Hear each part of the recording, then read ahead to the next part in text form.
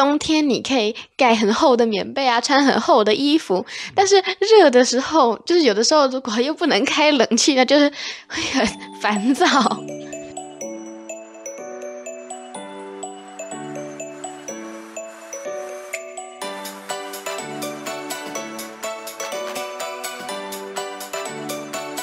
该听新闻喽！欢迎收听何子与阿布布的青少年新闻周报。哎，大家好，我是盒子，我是阿布，不列颠的布，我是阿布布丁的布。哎，也又到了我们每个星期一次的这个青少年新闻周报节目。那大家有没有发现，我们上个礼拜没有上新节目啊？啊，对，跟大家先说一声抱歉啦，因为我们上个礼拜刚好一些事情很忙啊，所以我们就不得不跳过了。那前两个星期也刚好是我们大家其实本来是美国啦，啊，现在其实各国大家都已经认定那一天是那个感恩节了。那你们知道感恩节的由来是什么吗？我知道，就是以前啊，不是有美国人是从英国那边就是开了一个五月花号，然后呢到美洲嘛，然后呢他就上去之后呢，因为他才刚到那里，所以那边本来是印第安人，所以呢印第安人就教美国人怎么种玉米呀。然后后来呢，美国人就就活了嘛，然后他们就感谢印第安人，所以就请他们吃火鸡嘛。你们知道吗？在网络上可以查到资料，他说那个感恩节就是开始确定那一天是感恩节。你们你们知道感恩节是呃十一月的第四周的礼拜四。我都忘记了对，那个是从一八六三年，那个时候是林肯，林肯当总统的时候，他确定他发表了一篇演说，然后就确定那一天是感恩节。对，那那那当然，在美国人中，其实有一部分的人他会认为感恩节其实是美其名是说这个英国来的清教徒在感谢印第安人。但事实上，其实他们对印第安人是对不对有屠杀的行为啊，还有一一一些劳力的剥削啊，对，那最后又搞得很美化这样子，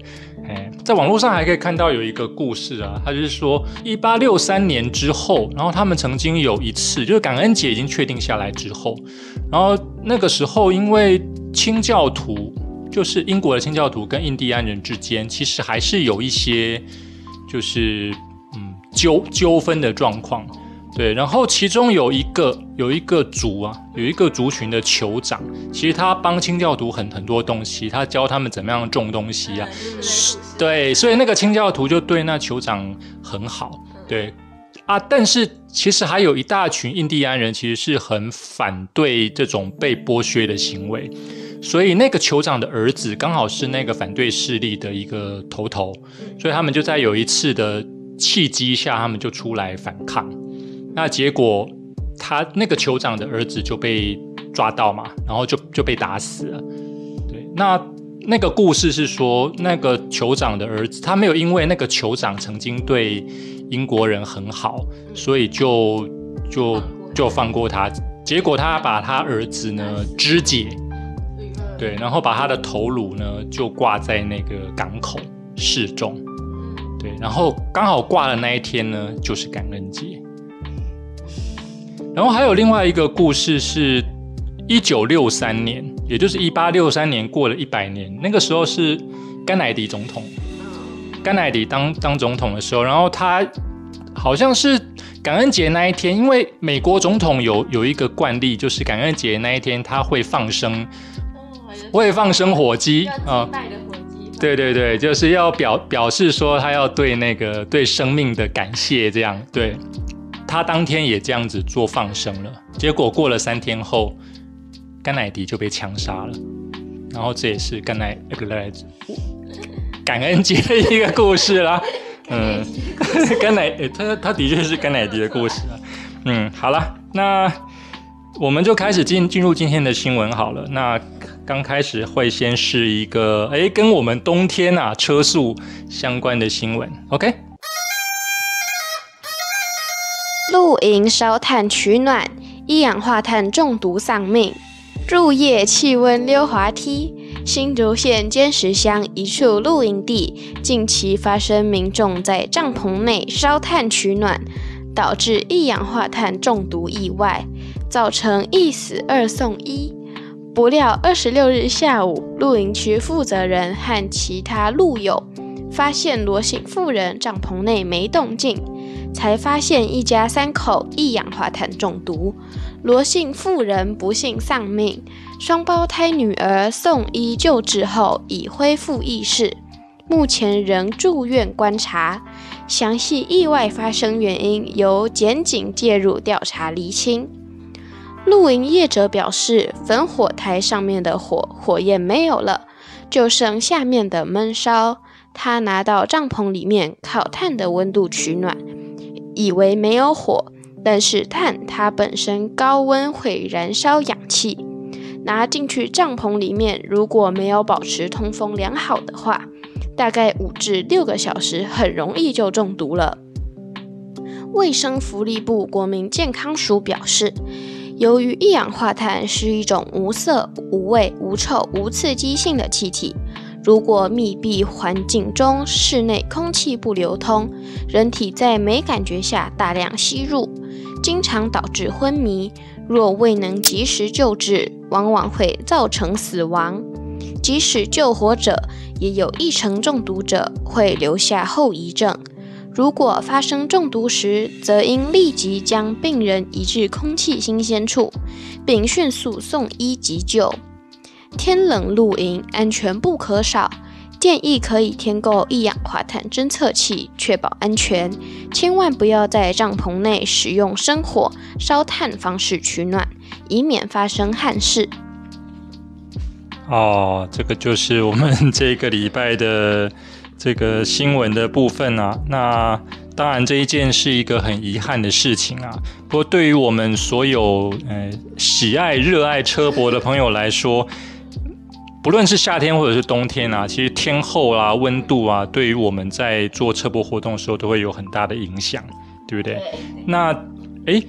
你们就你们的感觉啊，你们会觉得，呃，是应付夏天湿热的天气简单，还是应付冬天寒冷的天气简单呢？我我觉得冬天比较简单，因为冬天你可以盖很厚的棉被啊，穿很厚的衣服。但是热的时候，就是有的时候如果又不能开冷气，那就是会很烦躁。哦，是是没有错，因为其实有很多一部分人的那个车博，他是利用就是他可能货车去改装的，那他在那个。它可能就没有配备冷气嘛，或者是它电力上面可能会有些不足。即便它有装冷气了，可是它也是没有足够电可以撑完整个晚上。对，只是说因为夏天的时候，大家会选择的方式，可以解决方式就是往山上跑。所以有一部分的车博者、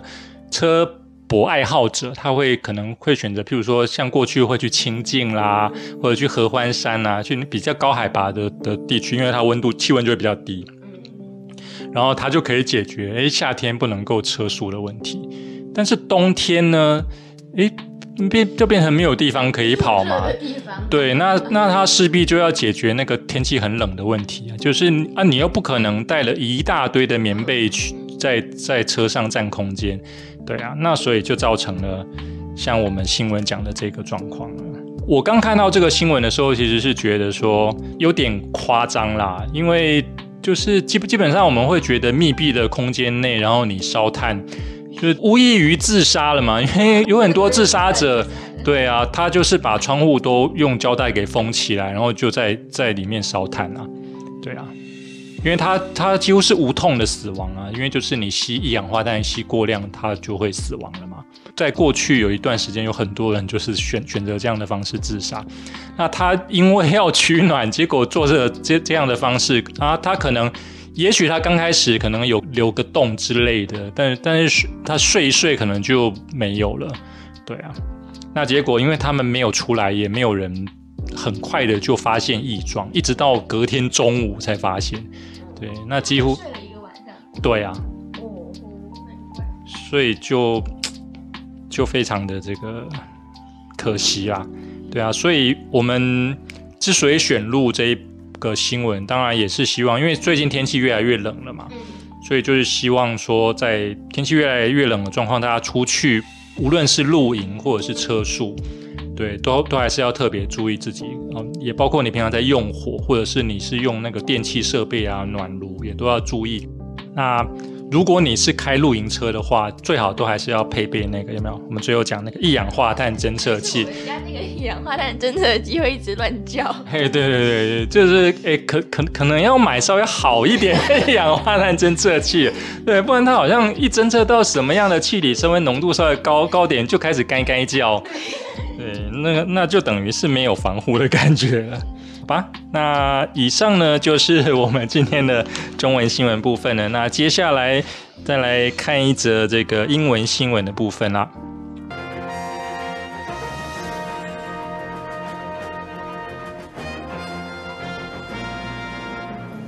Chinese celebrity chef offends China for third time with egg fried rice video. A Chinese celebrity chef has apologized after he was accused of insulting the memory of Mao Zedong's son by posting a video about how to cook egg fried rice. Wang Gang, who has more than 3.3 million followers on Weibo and more than 2 million on YouTube, faced a torrent of criticism by viewers who accused him of deliberately publishing his cooking tutorial around the anniversary of the death of Mao En-ying as an act of mockery. 好啦，那我们的这个英文新闻的部分呢，跟我们诶对岸呢是很有关系的。 对，那他第一段讲的就是说有一个英诶中国的 中国的名厨，诶这个中国名厨他叫做王刚啊，他在微博上拥有超过三百三十万的粉丝，在 YouTube 上也面也拥有超过两百万的粉丝。对，那他因为发布了有关如何煮蛋炒饭的影片，然后被指控他侮辱了毛泽东儿子的记忆啊。那他同时他也播了影片去道歉了，因为这件事情他遭到了观众的猛烈批评，指责他故意啊在毛岸英逝世周年纪念日发布烹饪教程以示嘲讽。哦，这边讲的毛岸英逝世周年纪念日就是十一月二十五五号啊。然后中国大概他们会，他们好像是定这天就是中国的感恩节。对，好，那那他到底发生什么事情呢？我们再接再接下去看一下。Mao An-ying, a Chinese military officer, was killed by U.S. bombers on 25th November 1950 during the Korean War. A persistent but frequently denied rumor says he was trying to cook egg fried rice instead of taking shelter, and the smoke from the fire exposed his position to enemy forces. Hu Qijing, a public commentator and nationalistic media personality, said in the future, around the anniversary of the death of martyr Mao En-ying, the public opinion field should avoid touching the topic of egg fried rice. 听完了第二段呢，大家大概就可以知道到底发生什么事情了。因为他说，在韩战期间啊，中国军官毛岸英啊，也就是毛泽东的儿子啊，被美军轰炸机炸死，哦，这个在中国的内部啊，他会认为说他是一个烈士嘛，对不对？啊，即便不是，他也会塑造成是啦啊。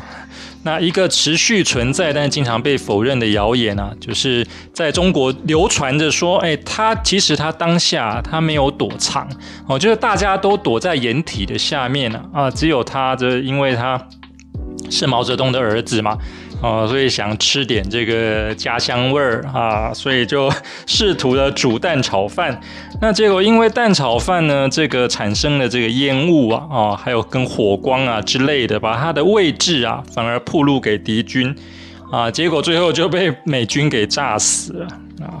那这个有一个公众评论员、民族主义媒体人士胡锡进，他就说：“那从今而后啊，毛岸英烈士的忌日前后啊，舆论应该要避免触及蛋炒饭的话题啊。哎，就是你平常你如果要泼蛋蛋炒饭的影片没关系，哎，但是你不要故意在十一月二十五号的附附近泼。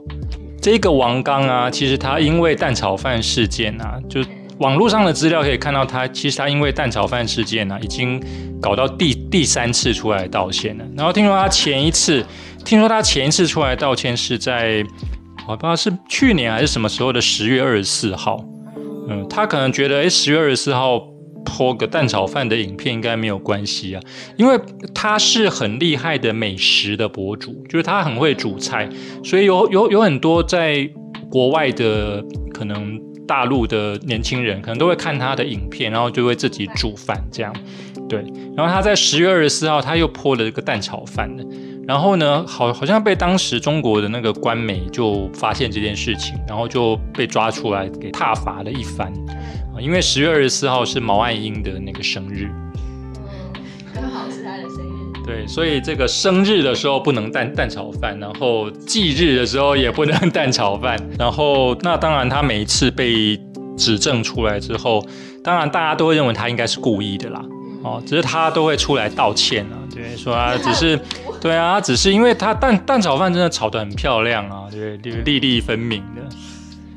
对，好了，那这个是一个很有趣的新闻啊，也是在我们的对岸啊，就是。我们在说要这个两岸要统一的时候啊，大家也是可以看一下这个 有没有确定要跟这样的人一起合作。那以上呢就是今天的新闻内容了。好，那最后当然还是希望大家，如果你们对于今天的这个新闻内容啊，或者是我们讨论的话题啊，如果你有些什么样的意见的话，请在留言的部分啊，也是在告诉我们。那当然要记得啊，要订阅我们的节目啊，啊，我们的 Podcast 节目以及我是盒子的 YouTube 频道，都需要大家支持。好，那今天的节目就。到此结束了。忘了喝拿铁哦，还要记得要请盒子喝杯拿铁。OK，好，那我们节目到此结束，拜拜，拜拜，拜拜。